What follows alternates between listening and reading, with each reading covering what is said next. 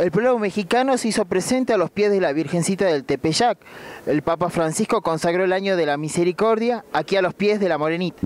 Así es, ha sido maravilloso, es una, un regalo infinito del cielo. Este, ya de por sí María Santísima es un regalo y ahora el Papa con el año de la misericordia viene a darnos mucha paz y ojalá que el pueblo de México abra los ojos y diga sí a la vida y defienda a la familia. Ustedes como familia cristiana, como familia mexicana, han vivido también la visita de otros papas, la visita de Juan Pablo II, me imagino.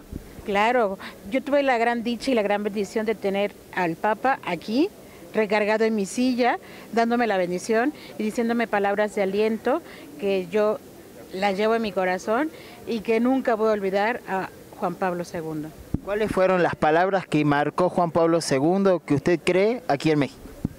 Yo creo que una de las que me, me, llegó es el no temer, no temer ante el dolor, enfrentarse siempre al dolor, confiado siempre en la misericordia del Señor.